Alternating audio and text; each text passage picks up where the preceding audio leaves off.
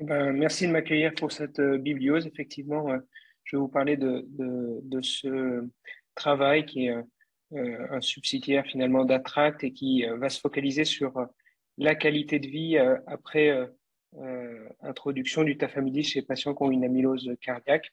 Donc c'est vrai que dans Attract, on avait euh, appris que le tafamidis, bien sûr, euh, réduisait la mortalité, réduisait les, hospitalisations en lien avec la cardiopathie et diminuait également le déclin de la qualité de vie. et ça, ça avait été étudié sur un marqueur générique le, score euh, de euh, Kansas City.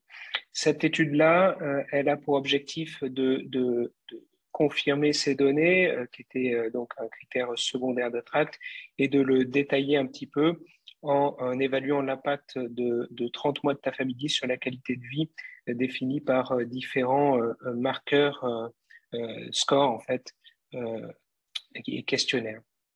Alors bien sûr, les patients, on les, on les connaît, c'est des patients qui ont une insuffisance cardiaque en lien avec une cardiopathie amyloïde à transthyrétine, qui avaient entre 18 et 90 ans, à l'exception euh, des patients qui étaient NYHA4, avaient un DFG inférieur à 25, un très mauvais test de marge de 6 minutes ou une, une amylose AL.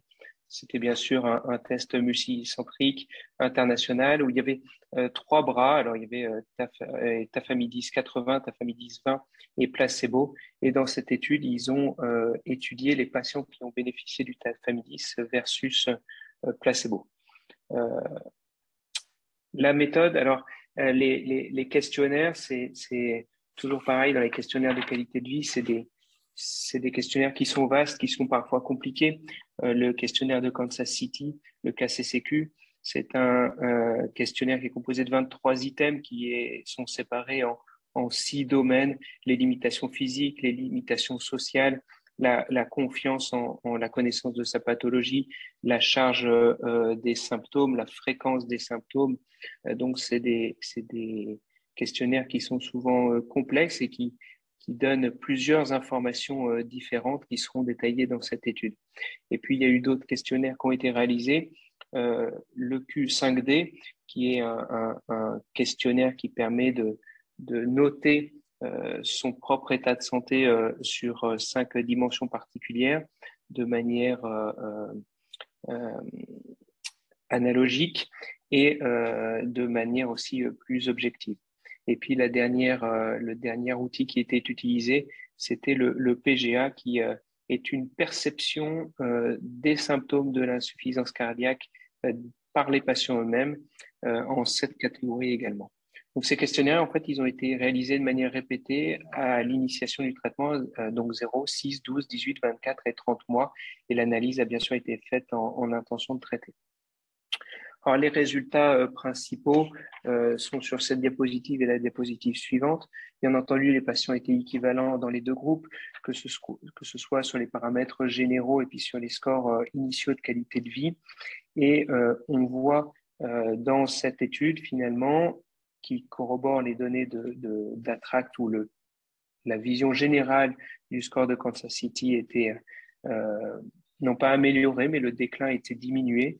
On voit ici que dans toutes les composantes du score de Kansas City, euh, le euh, déclin est diminué de manière euh, significative pour quasiment tous les, paramètres, que ce soit dans la qualité de vie, que ce soit dans la charge des symptômes, dans la fréquence des symptômes, dans les limitations physiques ou les limitations sociales, avec des différences qui atteignent 12 à, 14 points. On verra tout à l'heure que ces, valeurs euh, euh, de différence sont, importantes. Donc, c'est ce qu'on voit sur tous les, panneaux à droite. Alors, il y a euh, deux, sous-domaines, en fait, où ce n'est pas significatif. C'est la confiance en soi et le marqueur de stabilité des symptômes, où ils n'ont pas réussi à faire la, à atteindre la significativité en termes de différence. Sur cette diapositive, vous avez euh, à gauche euh, l'évolution du deuxième score utilisé, le Q5D en haut et le QVAS, c'est-à-dire le score analogique en bas, où on voit aussi que finalement, on a une diminution du déclin de ces scores de qualité de vie quand on est sous tafamidis par rapport au placebo avec des groupes finalement qui s'écartent assez vite, qui se séparent relativement vite dès le sixième mois. Et puis le, troisième score, c'est ce qu'on voit sur le panneau de droite, où vous avez le ressenti de l'amélioration ou de la dégradation des symptômes des patients euh, sous euh, ta famille, sous placebo, on voit finalement que euh, les patients qui se sentent améliorés sont plus souvent sous ta famille sous placebo et de manière symétrique, les patients qui se sentent le plus dégradés sont significativement plus sous placebo, sous ta famille. Alors tout ça, ça nous mène à l'analyse évidemment de ces résultats. C'est toujours très délicat hein, d'analyser des résultats de qualité de vie.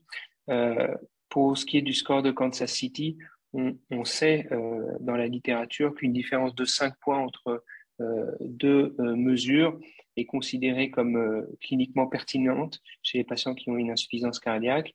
Et dans certaines études, c'est corrélé à des, à des capacités fonctionnelles qui sont significativement différentes également plus de 100 mètres de différence au test de marge de 6 minutes et euh, parfois, dans certaines études, jusqu'à 10% de différence dans les événements cardiovasculaires euh, majeurs. Et ici, on a des réductions qui sont bien au-delà de 5 points, en fait, qui sont de 12 à 16 points. Donc, c'est une différence qui est très euh, large, qui est très importante et qui est significative. Pareil, il en va de même sur le score analogique, le QVAS qui en général a une différence euh, significative de, de 3 points, et là on atteint jusqu'à 9 points de différence. Dernier point qui attire l'attention, c'est qu'il y a plus de 40% des patients euh, qui ont montré euh, une amélioration de leurs symptômes d'après le score PGA. Et c'est ça, à mon avis, qu'il faut retenir. C'est vrai que c'est toujours difficile à analyser. C'est vrai que dans cette étude, il n'y a pas de corrélation avec des marqueurs euh, de capacité fonctionnelle objectifs, euh, mais néanmoins, ça donne du, du grain à moudre sur le fait que le tafamidis euh, améliore réellement la qualité de vie des patients, plus exactement diminue moins vite la qualité de vie des patients et ça donne envie de l'introduire également pour cette optique chez ces patients. Je vous remercie de, votre attention et si vous avez des questions, n'hésitez pas.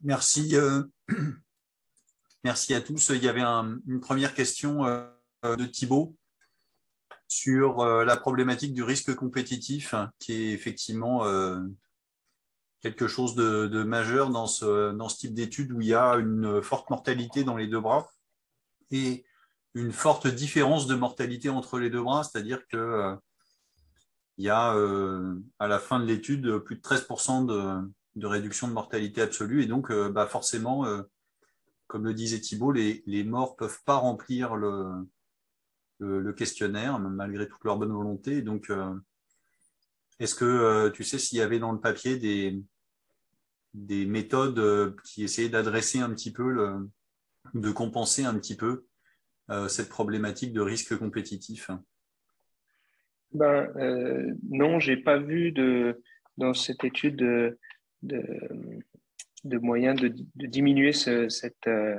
ce biais, en fait. Euh, en tout cas, je ne l'ai pas, euh, je pas noté. comme ça, j'ai vu qu'ils avaient stratifié sur d'autres paramètres, score NYHA, sur le, sur le génotype, etc. Mais j'ai, effectivement pas vu le, de moyens de contourner cette problématique. C'est un truc qu'on voit en particulier quand on regarde les, les espèces de courbes de Kaplan-Meier avec l'évolution des scores au cours, au cours du temps. Là.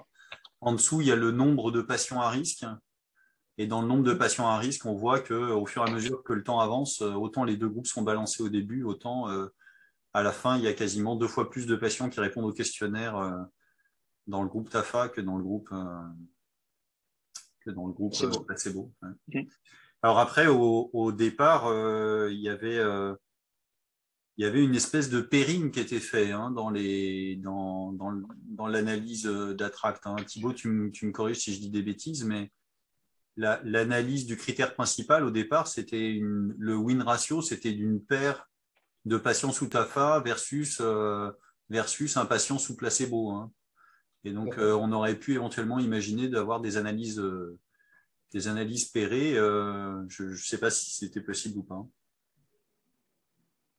Je ne sais pas. Je ne sais pas répondre à la question.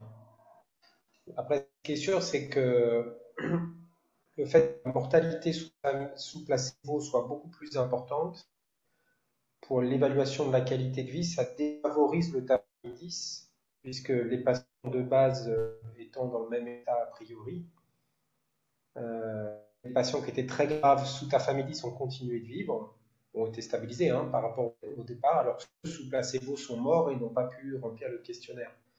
Donc ça prouve bien que le tafamidis euh, permet vraiment une, stabilisation et un ralentissement de la survie, on connaît, hein, mais aussi en qualité et je pense que c'est aussi le fait que ta famille doit aller bien au-delà dans son action, bien au-delà du cœur, du point de vue du, enfin c'est mon hypothèse, hein, du ralentissement de la maladie, une maladie très systémique. Euh, bah, il n'y a pas que le cœur qui parle dans un questionnaire de qualité de vie. Quoi. Quand sa City est très cardiaque, il y a sûrement les autres atteintes qui sont limites. C'était un peu la. Moi, j'avais une autre question. Je sais pas quel est votre ressenti, mais moi, quand on, quand on met des amyloses bien cognées sous TAFA, très souvent, à une semaine ou deux, ils ont, des, ils ont déjà un sentiment subjectif d'aller beaucoup mieux. Je ne sais pas si vous avez déjà eu ça.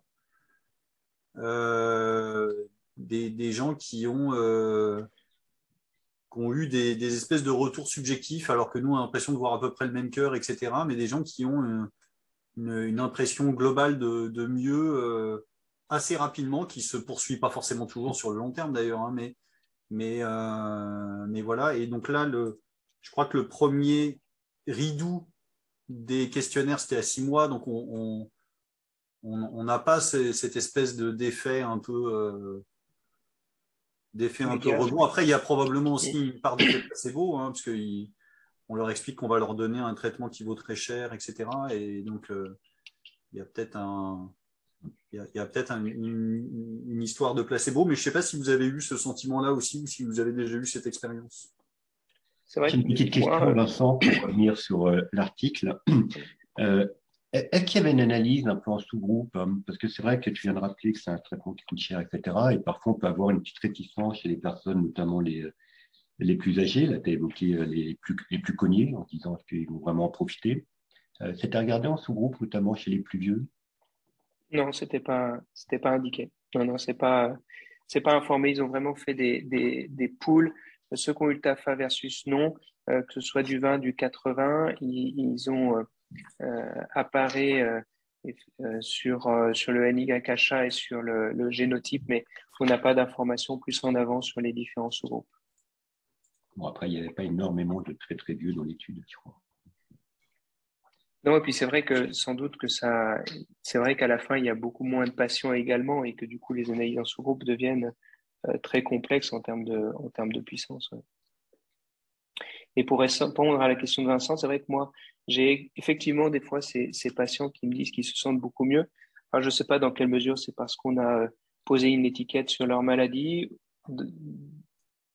une maladie dont on s'occupe. Il y a aussi l'arrêt de tous les traitements qui sont euh, qui sont euh, délétères aussi, qui peuvent euh, probablement les aider.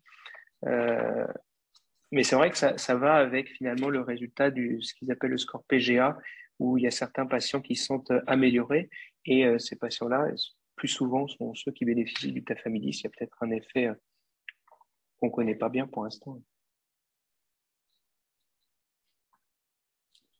assez intéressant, c'est qu'il y a une amélioration à la fois des scores de qualité de vie de type euh, un peu ciblé cardiologie, mais aussi, euh, et ça, ça correspond à la pratique clinique, euh, des scores de qualité de vie plus généraux, l'autonomie à domicile, possibilité de marcher, etc. Et donc, c'est vraiment extrêmement intéressant de, savoir, de, l'avoir prouvé, de l'avoir démontré.